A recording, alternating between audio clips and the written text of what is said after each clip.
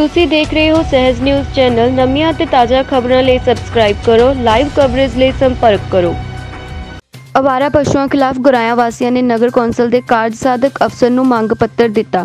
ਕੁਝ ਦਿਨ ਪਹਿਲਾਂ ਗੁਰਾਇਆ ਵਿਖੇ ਬੜਾ ਪਿੰਡ ਰੋਡ ਤੇ ਅਵਾਰ ਪਸ਼ੂਆਂ ਦੀ ਲੜਾਈ ਵਿੱਚ ਦਇਆ ਸ਼ੰਕਰ ਅਗਰਵਾਲ ਜ਼ਖਮੀ ਹੋ ਗਏ ਅਤੇ ਉਹਨਾਂ ਦੀ ਮੌਕੇ ਉੱਤੇ ਹੀ ਮੌਤ ਹੋ ਗਈ। ਇਸ ਘਟਨਾ ਦੇ ਵਾਪਰਨ ਤੋਂ ਬਾਅਦ ਗੁਰਾਇਆ ਵਾਸੀਆਂ ਨੇ ਰੋਸ ਪ੍ਰਗਟ ਕੀਤਾ ਅਤੇ ਇਸ ਸੰਬੰਧ ਵਿੱਚ ਰੋਸ ਮੁਜ਼ਾਹਰਾ ਕਰਦੇ ਉਹਨਾਂ ਨੇ ਅਵਾਰਾ ਪਸ਼ੂਆਂ ਦੀ ਸ਼ਹਿਰ ਵਿੱਚ ਵੱਧ ਰਹੀ ਗਿਣਤੀ ਤੇ ਲਗਾਮ ਪਾਉਣ ਦੀ ਗੱਲ ਆਖੀ।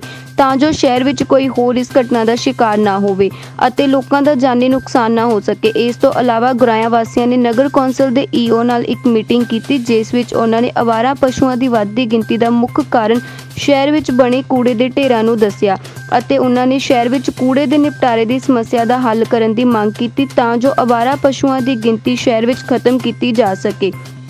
ਇਸ ਮੌਕੇ ਤਲਵਿੰਦਰ ਸਿੰਘ ਨਵੀਨ ਪੁੰਜ ਸ਼ਾਮਰਾਜ ਸਿੰਘ ਸੰਜੀਵ ਕੁਮਾਰ ਹੀਰ ਹਰਵਿੰਦਰ ਸਿੰਘ ਸੋਨੂ ਵਿਸ਼ਾਲ ਤੱਖਰ ਆਦਿ ਮੌਜੂਦ ਸਨ। ਵਿਖੇ ਅ, ਸ਼ਹਿਰ ਵਾਸੀਆਂ ਵੱਲੋਂ ਮੇਰੇ ਨਾਲ ਮੀਟਿੰਗ ਕੀਤੀ ਗਈ। ਇਸ ਮੀਟਿੰਗ ਵਿੱਚ ਉਹਨਾਂ ਨੇ ਸ਼ਹਿਰ ਵਿੱਚ ਜੋ ਅਵਾਰਾ ਪਸ਼ੂ ਆ ਉਹਨਾਂ ਦੀ ਸਮੱਸਿਆ ਨੂੰ ਹੱਲ ਕਰਨ ਸੰਬੰਧੀ ਨਗਰ ਕੌਂਸਲ ਨੂੰ ਮੈਮੋਰੈਂਡਮ ਦਿੱਤਾ ਹੈ।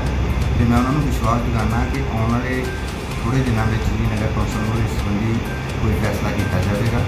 ਔਰ ਇਹਨਾਂ ਪਸ਼ੂਆਂ ਨੂੰ ਜਿਹੜੀ ਕਿਤੇ ਸੁਰੱਖਿਆ ਜਗ੍ਹਾ ਤੇ ਆਪਾਂ ਲਿਜਾਵਾਂਗੇ ਉਹਨਾਂ ਦਾ ਕੋਈ ਨਾ ਕੋਈ ਪ੍ਰਬੰਧ ਕਰਾਂਗੇ। ਇਸ ਸੰਬੰਧੀ ਆਉਣ ਵਾਲੇ ਦਿਨਾਂ 'ਚ ਜਿਹੜਾ ਕਮੇਟੀ ਵੱਲੋਂ ਇਸ ਸੰਬੰਧੀ ਫੈਸਲਾ ਕਰ ਲਿਆ ਸਰ ਐਸਡੀਐਮ ਸਾਹਿਬ ਨੇ ਤੁਹਾਨੂੰ ਤਿੰਨ ਦਿਨ ਦੀ ਮੁਹਲਤ ਸਹੀ ਲਈ ਉਹ ਜਨਤਾ ਕੋਲੋਂ ਤੇ ਅੱਜ ਮੇਰਾ ਖਿਆਲ 6 ਦਿਨ ਹੋ ਚੁੱਕੇ ਆ ਪਰ ਹਾਲੇ ਤੱਕ ਵੀ ਅਵਾਰਾ ਜਿਹੜੇ ਆ ਸਾਂਢ ਸੜਕਾਂ ਦੇ ਉੱਤੇ ਹੀ ਆ। ਹਾਂ, ਇਸ ਤਰ੍ਹਾਂ ਕਿ ਅਸੀਂ ਹੁਣ ਤੱਕ ਚਾਰ ਕਿਸਾਨ ਅਹ, ਬਲਦ ਤੇ 12 ਗਊਆਂ ਨੂੰ ਜਿਹੜਾ ਇੱਥੋਂ ਸ਼ਹਿਰ ਚੋਂ ਰਿਮੂਵ ਕਰ ਚੁੱਕੇ ਹਾਂ ਪਰ ਇਹ ਡੇਲੀ ਕੋਈ ਨਾ ਕੋਈ ਜਿਹੜੇ ਹੈ ਉਹ ਰਸਤਿਆਂ ਦੇ ਥਰੂ ਇੱਥੇ ਆ ਜਾਂਦੇ ਆ। ਫਿਰ ਵੀ ਅੱਜ ਵੀ ਅਸੀਂ ਤਿੰਨਾਂ ਨੂੰ ਕਾਬੂ ਕਰ ਲਿਆ ਹੈ।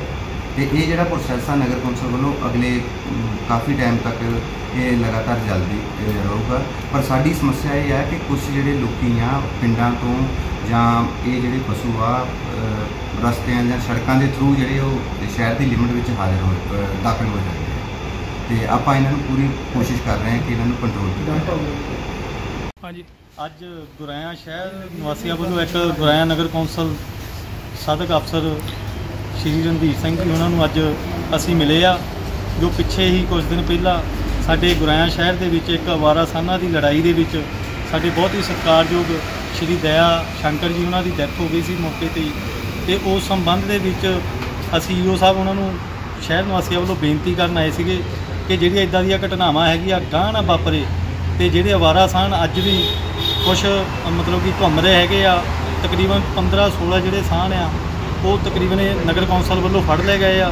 ਜਿਹੜੇ ਹੋਰ ਘੁੰਮਦੇ ਆ ਗਾਂ ਆਉਣ ਵਾਲੇ ਸਮੇਂ ਦੇ ਵਿੱਚ ਕਿਸੇ ਤਰ੍ਹਾਂ ਦੀ ਵੀ ਕੋਈ ਅਨਸਮਾਨ ਘਟਨਾ ਨਾ ਵਾਪਰੇ, ਉਹ ਸੰਬੰਧ ਦੇ ਵਿੱਚ ਮਿਲੇ ਆ ਔਰ ਦੂਜੇ ਨੰਬਰ ਤੇ ਸਾਡਾ ਜਿਹੜਾ ਵਿਸ਼ਾ ਸੀ ਗੁਰਾਇਆਂ ਦੇ ਵਿੱਚ ਜਿਹੜੇ ਡੰਪ ਜਿਹੜੇ ਆਵਾਗੌਣ ਬਣੇ ਹੈਗੇ ਆ, ਕੂੜਾ ਸਿੱਟਣ ਵਾਲੇ, ਕਿਉਂਕਿ ਕੂੜੇ ਦਾ ਜਿਹੜਾ ਕਾਰਨ ਆ, ਸਭ ਤੋਂ ਵੱਡਾ ਹੈਗਾ ਕਿ ਕੂੜਾ ਜਿੱਥੇ ਹੁੰਦਾ, ਉੱਥੇ ਜਾਨਵਰ ਜਾ ਕੇ ਉਹ ਮੂੰਹ ਮਾਰਦਾ ਤੇ ਉਹ ਵੱਧਦੇ ਹੈਗੇ ਆ।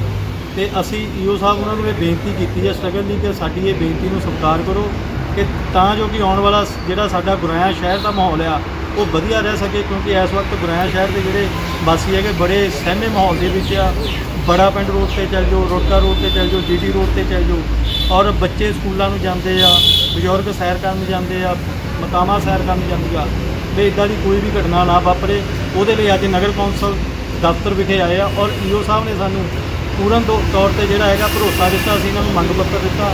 ਪ੍ਰਧਾਨ ਜੀ ਹੁਣੀ ਇੱਥੇ ਪ੍ਰੈਜ਼ੈਂਟ ਨਹੀਂ ਸੀਗੇ, ਅਸੀਂ ਉਹਨਾਂ ਦਾ ਮੰਗ ਪੱਤਰ ਵੀ ਜਿਹੜਾ ਹੈਗਾ ਈਓ ਸਾਹਿਬ ਉਹਨਾਂ ਨੂੰ ਦਿੱਤਾ ਹੈਗਾ ਔਰ ਉਹਨਾਂ ਨੇ ਭਰੋਸਾ ਦਵਾਇਆ ਕਿ ਜਿਹੜੀ ਪ੍ਰੋਬਲਮ ਹੈ ਬਹੁਤ ਜਲਦੀ ਸੋਲਵ ਹੋਵੇਗੀ। ਮੈਂ ਸ਼ਹਿਰ ਨਿਵਾਸੀਆਂ ਨੂੰ ਇਹੀ ਬੇਨਤੀ ਕਰਨਾ ਚਾਹੁੰਦਾ ਕਿ ਆਪਾਂ ਰਲ ਮਿਲ ਕੇ ਜਿਹੜਾ ਹੈਗਾ, ਪਾਰਟੀ ਵਾਈਜ਼ ਉੱਪਰ ਉੱਠ ਕੇ ਕੋਈ ਪਾਰਟੀ ਵਾਈਜ਼ ਨਹੀਂ, ਪਾਰਟੀ ਵਾਈਜ਼ ਤੋਂ ਉੱਪਰ ਉੱਠ ਕੇ ਆਪਾਂ ਜਿਹੜਾ ਸ਼ਹਿਰ ਦੇ ਮਾਹੌਲ ਨੂੰ ਵਧੀਆ ਬਣਾਉਣ ਦੇ ਵਿੱਚ ਇੱਕ ਦੂਜੇ ਦਾ ਸਹਿਯੋਗ ਕਰੀਏ।